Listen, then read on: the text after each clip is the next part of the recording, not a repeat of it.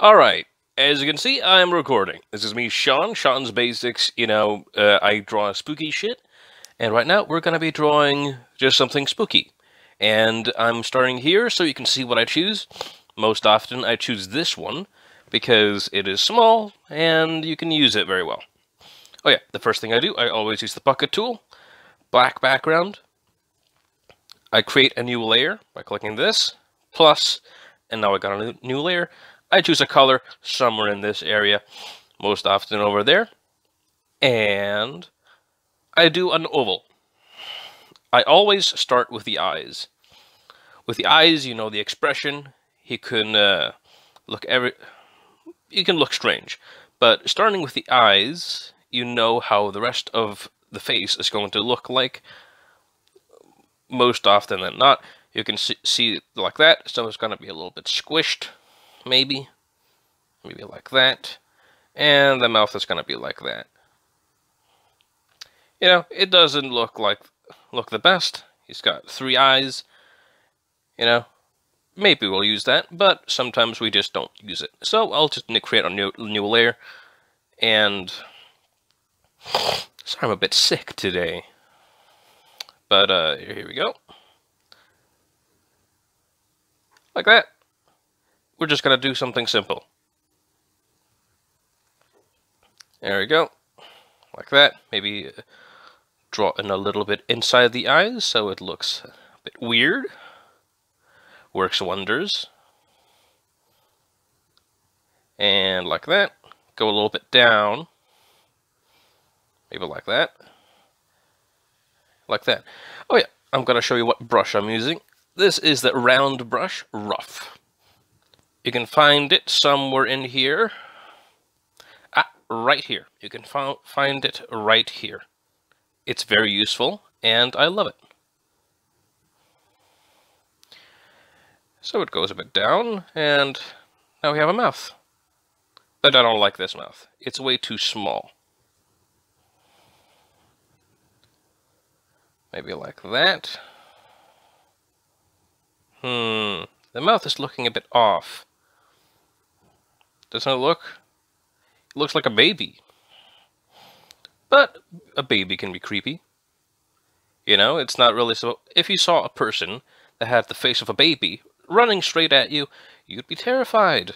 You wouldn't be like, oh, look at the baby. You'd be, fuck, look at the baby. Ugh, it's horrible. I'm running. And that's why babies are weird. See, it's already looking pretty good. All on one layer. Well, three layers, but we don't count this one. So two layers. Yeah, alright. So, like that, you can, uh, if you want to do arms, you could just do arms like that. If you don't want to do arms, you don't have to. Arms are a distraction. And reason why is I just zoom in like that because people are not going to focus on the fucking hips of this creature. They're always going to focus on the face. Hence why you put 70% of all of your detail into the face, but you also always got to put a little bit of detail into the wrist. Not too much if you're lazy, but if you want, you can put a, like 100% into everything. Which is you know, a pain in the ass, and it takes a while, and it's boring. Because doing the face, we, it understandably is the most fun. The face is the creepiest, it's where the most detail is, it's where the most uncanniness of the place goes. Like, this look this looks like it could have been human once. It's got a human mouth, human-ish nose, if it was cut off, and no eye sockets. I'm going to change that in a bit. I'm going to put some stuff in here, maybe. There we go. There we go. Good. Looking pretty swell. Now, as it stands, this guy looks like he is fat. He's got a fat neck. We're going to change that by putting some shading under him so it looks like he isn't, doesn't have neck flaps under him, but that can be creepy sometimes. Doing this, you're supposed to uh, make it as grotesque and weird and unnatural. Like, if you wanted to make it unnatural, like make it not as hu- not at all human, you could. You could just draw a fucking dog, and that won't be human at all. But it has to have some human characteristics. It's got to have at least a humanist, a kind of human torso, human neck, human head. It's got to have something human about it that you recognize as human. And then everything else is just like, huh, that's that's weird. That's not supposed to be like that. And then your body is going to throw warning signs like, no, that's not right. That's that's that's not right. That what the fuck is happening? What is that? And that is why the Uncanny Valley is great, and it is the best form of horror. You cannot prove me wrong because it is fact. Fuck you. I don't know if it is fact true that it is the most horrific thing, but it is to me. And here we go. We have a face. It is, this is all that's needed, really. This is all that you need. But, um, it's a bit boring doing it like that. So we're going to add a little bit of shading, maybe a little bit of coloring in the background. Coloring is, I use this Clouds, Moon, Fog, which isn't called Clouds, Moon, Fog. Wait, Clouds, Moon, Fog. Yeah, Cloud, Moon, Fog.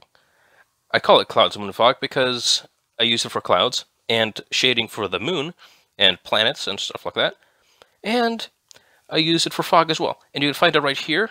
You can see the line on the right, right next to, uh, it's on the bottom side.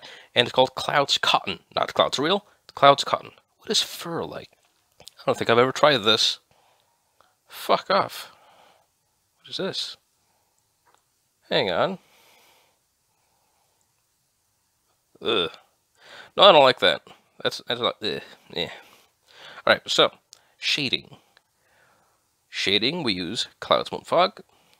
We choose black, and we just uh we choose alpha lock. Oh wait, we choose alpha lock right here, and we do it like that. See? You can already see that it is supposed to be a kind of skinny neck. And the reason why I'm going to putting this down is because we're going to have lighting from above going down. So the head is a bit forward because of the chin right here. And because of the chin, the light is not reaching the front of the torso. And it is creating a shadow right here, which is going to go all the way down here. Like that. Shading is that fucking simple. People think, tend to think that it takes a long time to do shading, but it takes a long time to master it. I have not yet mastered it, but I am pretty good at it. Shading can be very fun. Shading, lighting, I think lighting is harder because you're going to have to really focus. Really focus on where the light source is coming from. The light source is coming from up here. And what we do is we choose yellow. Yellow is a very nice color for shading. Like we can uh, choose right here. This is going to be white for now. There we go. It's very nice, right? But uh, if I put it below the... You see that? This is how it looks like without the black background. That's why I always put a black background. Hmm, what do I do? So, I choose that. I, I do that, and then I do this. And this can, this sometimes works. It works very often. What I do is, you know what, fuck it, I'll just do that. That's way rougher, way faster.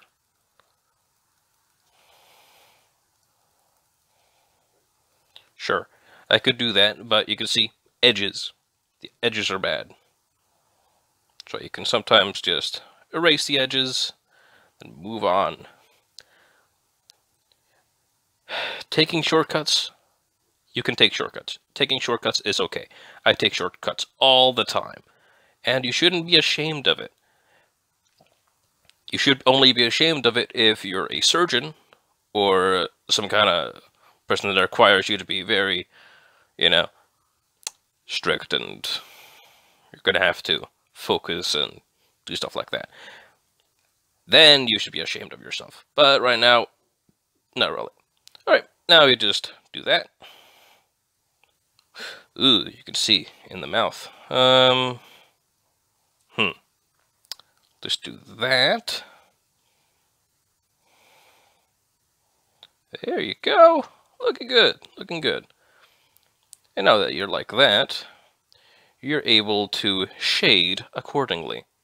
You choose the color right here. I just hold down and it chooses the color and I choose the brightest part and I make it a little bit brighter. I choose the clouds, moon, fog or just the real cotton brush, which is it's originally called, but I renamed it this. And then I just shade accordingly. Look at that, it's coming down. Because it's a nose, it goes a little bit forward, so it's going to be a little bit brighter.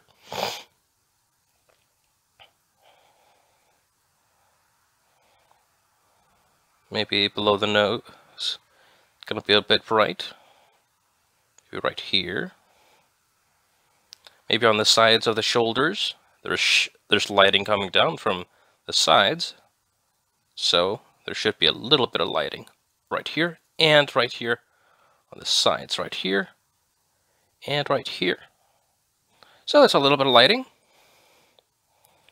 And then I just do a little bit of that. I'm doing this because someone asked me to show my process, and I realized, oh, I have not recorded in a while. So, I did.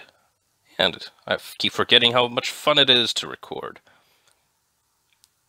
I can't believe I went from making Minecraft videos to doing art tutorials. It's very fun. And very simple once you get the hang of it. You know, when I draw this, I'm not being very exact. I'm just messing around. It's all about technique and muscle memory. Once you do it enough, it's going to be simple. You're going to feel like you're running through it. You're going to feel like an actual pro and your confidence is going to shoot way high. So don't worry. If you ever feel like your art is bad, just know that that's that's not true. You know, art is subjective. If you like it, then that's you you like it. But if you want to truly improve, just continue doing something. Keep changing styles as well. Keep drawing in different styles, different stuff. Try different things don't be afraid to ask for help. You know, if you're stuck on something and no tutorial tutorial seems to help, then just, you know, ask. Ask me. I may be able to help a little bit. Don't be afraid to ask, man. It's okay. You're able to ask. There's no shame in that. No shame in that. There's don't let your don't let your ego take over.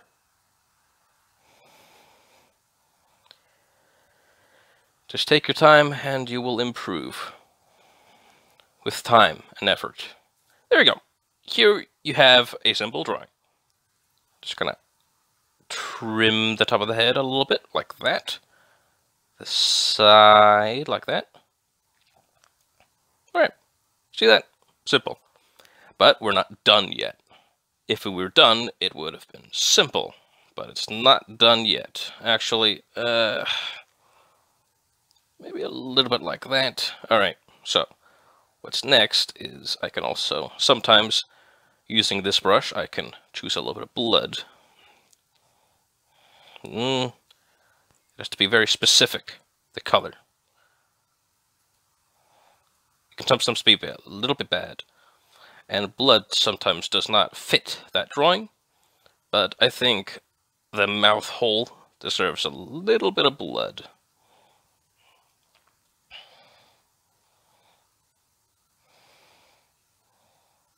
Yeah, see? The mouth hole deserved a little bit of blood. See that? Then you can put a little bit on the torso because it's black. Like, because it's so dark, adding a little bit of blood really improves it. See? There you go. And now comes a very important part, which is first I'm going to change the color to a little yellow. There you go.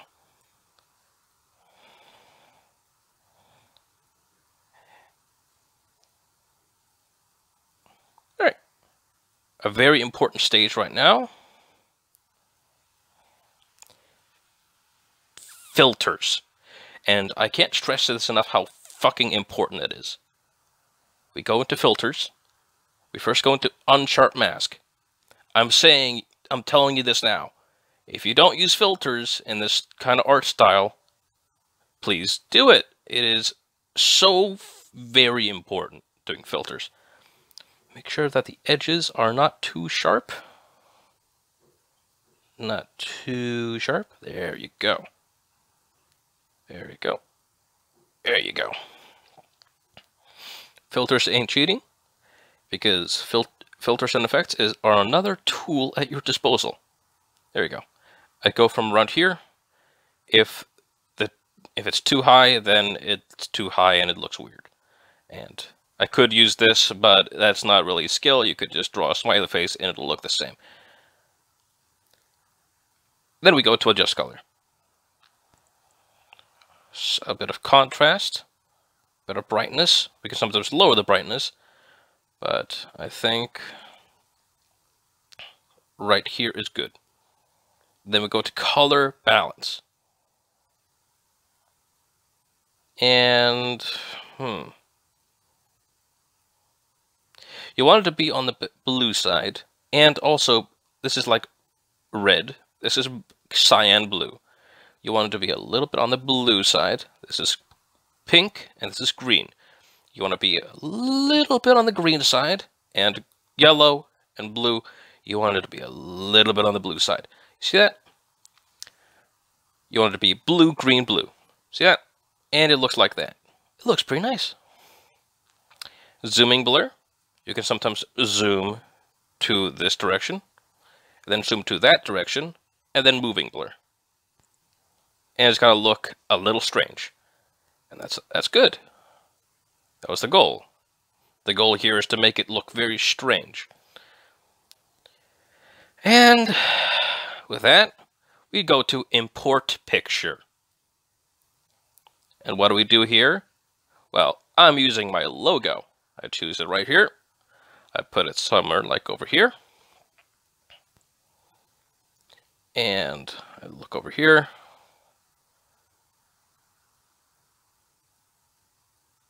There you go. And maybe I'll move it a little bit.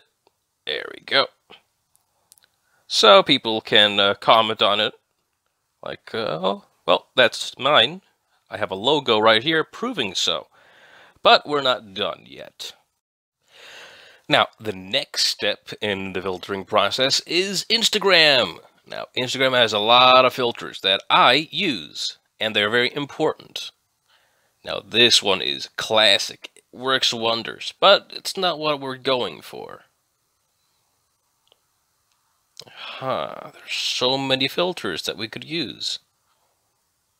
A lot of people tend to skip the filtering process, but I don't like to. It's very important. It's a very important step, and I want to show you all the secrets. Now, lo-fi, very good. Like right here, it's dark, it's gloomy, it's nice. But it still has some brightness. Right here, I clicked this. It's at the top. You can see that lux.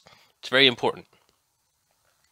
Brightness, maybe a little bit lower, maybe around 20, sure, negative 20. Contrast, mm, maybe around 20 as well, sure, 18. Structure, we can sometimes use a little bit, a little bit more structure, can't we? Uh, 13, sure. Warmth, it's always best to lower the warmth. Cold, nice. But you can up the saturation if you want. The more saturation, the more weird it looks. But it's good to have it a bit balanced. So like right here. And then we can skip a lot of these and go straight to Vignette. I don't know how to pronounce it, but I'll say Vignette because I'm dumb. And we can sometimes sharpen as well. There we go. and then we post.